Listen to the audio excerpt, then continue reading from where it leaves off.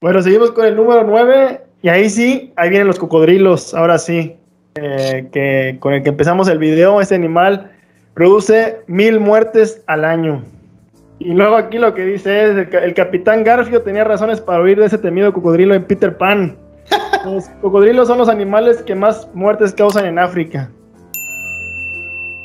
De hecho, Mil hay- muertes al año, pues ya es un número considerable. Oye, había, había una película que se llamaba Cocodrilo que estaba basada en la vida real de un cocodrilo gigante en un lago de África que mató a miles y miles de personas africanas. Después de mucho tiempo lo cazaron, ¿verdad? Y, y lo abrieron a su estómago y tenía cientos de partes de huesos humanos y piernas y todo. No, no, sé, no sé si se acuerdan de esa película. Ya es No, viejita, no, no, la- no, no me suena. Está buena, ¿eh? La vi, se llama El Cocodrilo y está basada en una historia real de un cocodrilo gigante en África. Mató a miles de personas allá, miles de africanos allá. Te la recomiendo, véanla. De hecho, sí, este, de hecho, los, eh, bueno, aunque también en África matan mucha gente los cocodrilos, en Australia es donde tienen los cocodrilos más grandes que se conocen del mundo, los cocodrilos de agua salada. Son animales muy, esos sí son eh, animales muy agresivos con el ser humano y pues también causan pues una buena cantidad de muertes al año. Eso lo mencionaba mucho el extinto cazador cocodrilos Steve Irwin, que pues por cierto era oriundo, oriundo de aquel país. Y bueno, en, el número 8 está las caris, que son 4.500 muertes al año. ¿Las qué La mayoría de los casos de muerte, perdón, ¿Las, las cómo dijiste?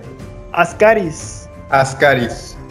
Ajá, la mayoría de los casos de muerte por este gusano, es un gusano, ha sido por niños de países subdesarrollados. Este parásito se instala en el intestino delgado y causa diarreas, anemias y vómitos. Es otro animal también pequeño que hay que tener cuidado y pues aquí no dice exactamente de qué, de qué países subdesarrollados es, pero pues por la, por la foto que estoy viendo me suena que es un país como ya amazónico, allá de Sudamérica. Es que lo, el- lo de los gusanos como parásitos es algo muy común en, en Latinoamérica, de hecho.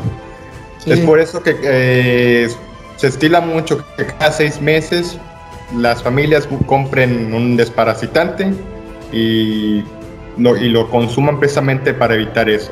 Precisamente porque esos, es- esos animales están dentro de la carne de, de, los- de lo de que uno consume, que uno puede consumir, ah, ya sea en la casa o en la calle o lo que sea. Y por lo que se ve aquí que dice que afecta a los intestinos, entonces tiene una gran resistencia a los jugos gástricos. Así que no hay que hacer confianza cuando vayan a comer algo de ese tipo de carnes. Y esos Bueno. pueden alcanzar este, longitudes kilométricas, ¿eh? Aguas. Ah, sí. Sí, sí, sí. longitudes kilométricas. Muy cierto. Centro gusanote. Bueno, en, el, en el lugar, en el puesto número 7, viene lo que es la, mor- la mosca ZC. No sé si lo han Ah. escuchado. La Yo sí. famosa mosca del sueño. Del mal del sueño. No, Esa es- produce una cifra de 10.000 muertes al año. Aquí ya vienen los pesos pesados de las muertes eh, de humanos. 10.000 muertes al año. Oye, pero si bien me acuerdo de las clases de biología, eh, tengo entendido que no es tanto la mosca tsetse, sino el parásito que contiene la, la mosca, que es lo que se instala y causa Bueno. el, el mal del sueño.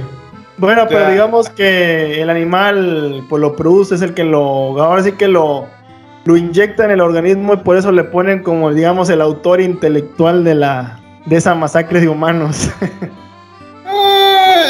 Yo más bien este, les daría, le daría el debido crédito. Creo que el nombre del parásito e- era trepano, no, Tripanosoma.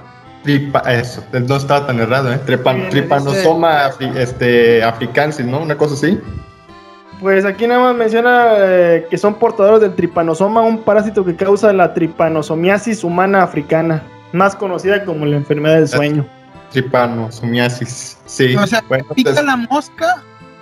¿Cómo, cómo, ¿Cómo está eso? ¿Te pica la mosca? mira, funciona como el mosquito del el mosquito Aedes, el del dengue. Ajá. Tienen el virus, este, no les pasa nada al, al vector, Eso se le llama al, al animal que contiene el, el virus o el parásito. Ajá. Ellos lo transportan, este, pican e inyectan el, el- el virus o el parásito, en este caso el parásito, y ahí es donde empieza eh, la enfermedad.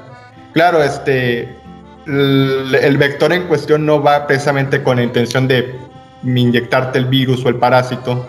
Ellos van, son este, hematófagos, como los Simplemente son como- transmisores.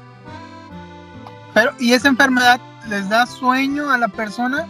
Sí, Produce como una especie de debilitamiento, o sea, ya no de- dejan de comer, este, Como el dengue. y al final, pues creo que también hay espasmos, hay fiebre, y pues eso los termina, toda esa combinación de síntomas los termina matando, tengo entendido.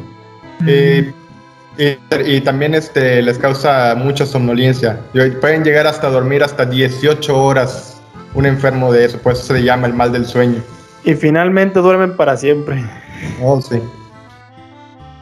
Bueno, en el número 6 tenemos los chinches asesinos. Y esa nos traen 12.000 muertes al año.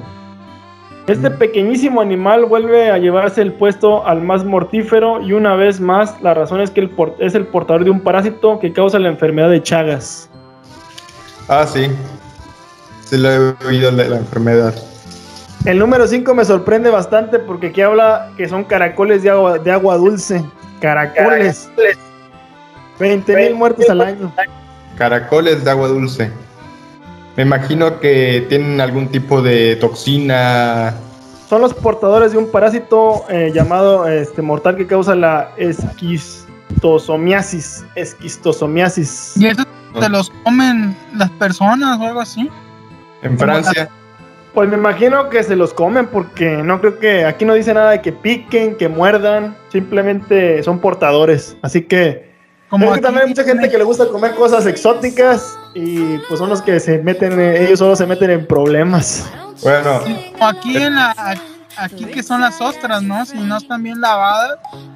No, amigo, yo una vez fui a un restaurante de mariscos, me dieron unas ostras, no sé si se las lavaron bien, pero me pegó mal temperatura, diarrea, no, me caí en cama, ¿eh? Y esos animales son, son buenos para una intoxicación. sí, probablemente te dio o una salmonelosis o algo así. O una tifoidea. No sé, como tres días duré ahí en la cama, antes no me morí también. Sí, suena como a salmonelosis o una cosa así. Y bueno, ya, ya se viene cerrando el cerco de los animales más, más acá, más mortales. Y en el número 4, tristemente digo, porque es de mis animales favoritos domésticos, los perros. El mejor amigo del hombre también es uno de los más este, asesinos de los seres humanos. Los perros al año tienen 35 mil muertes, es el- la cifra que maneja este lugar. Y pues aquí habla que es principalmente cuando tienen la rabia, pueden convertirse en uno de los más grandes asesinos del ser humano. Hay que recordar que la rabia es un virus y persona mordida por rabia ya prácticamente si sobrevive ya no queda bien y todo el resto de su vida va a tener ese, ese padecimiento. No, nadie sobrevive a eso. Hay, hay casos, son, o sea, es un caso, es un porcentaje muy bajo, pero sí ha habido personas que han, han sobrevivido, pero ya no quedan, no quedan bien. No, no porque lo- el- la fase final de la rabia es una encefalitis. Se te- Pero tengo entendido que hay, hay personas que, que las han eh, puesto algún medicamento antirrábico para controlar, no para curarlos. No, eso es porque realmente no hay, no hay una cura o un suero contra, el, contra la rabia. Al, No, es virus. este, tienes que ponerte la vacuna antirrábica. Y te- de- desde el momento de la mordedura tienes más o menos un mes, mes y medio para ponerte la vacuna antirrábica o si no, van a empezar ahora, va, a- va a incubar el virus y van a empezar a presentarse los síntomas. Y una vez presentados los síntomas, bueno, Ay, no hay nada que hacer. Por ahí escuché que los que se inyectan no sé cuántas inyecciones alrededor del ombligo, ¿es cierto eso? Sí, sí, es cierto. Es, es- eso es muy cierto, sí. Son 10 inyecciones más o menos. Alrededor del ombligo, sí, y es muy doloroso. Bueno, a pesar de, de lo de la rabia, no sé si se acuerdan, aquí también en los noventas, aquí en Tampico, fue muy sonada de un perro que mató a un niño que andaba recolectando ciruelas.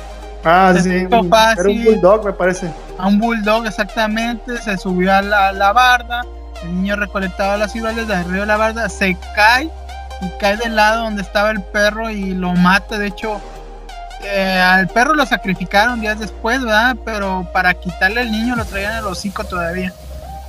O sea, bueno, una noticia muy lamentable aquí en la zona en los años 90. Yo todavía me acuerdo, salían los periódicos y en la televisión. Sí, sí, me acuerdo del niño de los ciruelos. Eso sonó por allá de los. del 97, 98, me parece que fue. Sí, como no, no, como poquito antes, como 95, 96, por ahí. Por ahí aquellos años. Sí, hay que, bueno, aquí hacemos un pequeño paréntesis en, cuanto a los perros, hay que tener mucho cuidado porque hay mucha gente imprudente que, que tienen mascotas que son bravas y las dejan en la calle. Aquí sobre todo en la ciudad de La Paz hay mucha gente que camina, vas caminando y de repente sale el perro de, de la nada y te metes en problemas porque... Bueno, también de hecho esa gente inconsciente debe saber que también se va a meter en problemas porque le puede, puede caer una buena demanda, así que para aquellos que tienen perros, la recomendación es esa, que, que si su perro es bravo, pues deben de tenerlo en un lugar adecuado para no evitar un daño a terceros. O mejor tengan gatos, en todo caso. Exactamente, son más, en ese aspecto son un poco más inofensivos que, los perros. Así que como el meme del, del, chavo este que con las soluciones este, complicadas. gatos. Pues sí. O tortugas, esas, esas no, pues te dan una mordida, pero pues no te van a matar. No, a lo, a lo mucho este las garras que tienen y ya. Y bueno, se viene el número 3, así el top 3, los, los más los más pesados de los pesados. Si el video te gustó, por favor regálanos un buen like, eso nos, nos ayudaría en el canal. También te pedimos que te suscribas, que es gratis, y active la campanita para esta y más notificaciones. Muchas gracias, hasta la próxima amigos. Está guay, me gusta. Vale, adiós.